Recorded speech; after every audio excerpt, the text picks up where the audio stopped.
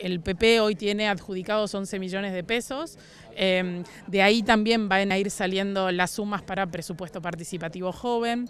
si es que no gestionamos para, cubrir esa necesidad por otro lugar. La Secretaría de Asuntos Municipales de Nación está involucrada, entonces por ahí hay, como una punta para conseguir otro financiamiento. Y el presupuesto participativo eh, grande, que vaya de paso, eh, vaya sea de paso, la semana que viene comienza las capacitaciones para los coordinadores y las inscripciones. Eh, en función de esas inscripciones nosotros vamos a saber realmente cuántos barrios, cuántos parajes, obviamente Beruti y 30 de agosto están inscriptos para empezar a ver con cuánto dinero contamos para cada uno de ellos y para cuánto eh, después también para 30 y, y Beruti con Pepe Joven. ¿Cuáles son los requisitos para estas inscripciones, Mariana? En el caso del presupuesto participativo general, tienen que ser parajes, eh, sus, eh, a ver, los chicos que vayan, los padres, los directivos pueden llamar por teléfono e inscribirse. Se está solidificando mucho el trabajo con los barrios, por ende, a diferencia de estar sentada y esperarlos, mi actitud hoy es mucho más proactiva, los voy a buscar, los llamo por teléfono, tienen intenciones, no tienen intenciones,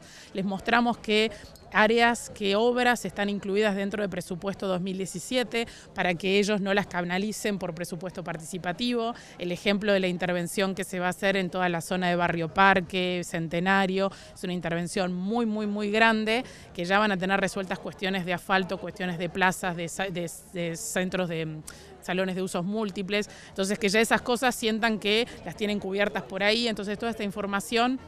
requiere de algo tiempo, pero bueno, ya te digo, haciendo pie con el trabajo comunitario nos va a ir salvando estas cuestiones y básicamente es eso, los referentes, los barrios que quieran, que sientan que, su barrio necesita algo, que puedan canalizar por este intermedio, que sean obras obviamente a, realizarse en un año, con el valor eh, que nosotros establezcamos, em, se inscriben, se inscriben, bienvenidos. Yo creo que nosotros tenemos que, como agentes multiplicadores que somos, eh, empezar a involucrar cada vez más, más vecinos y que entiendan que em, Básicamente esta necesidad se puede canalizar por esto, es un poquito de dinero que el municipio les da a los barrios para que sean ellos los que prioricen eh, sus cuestiones.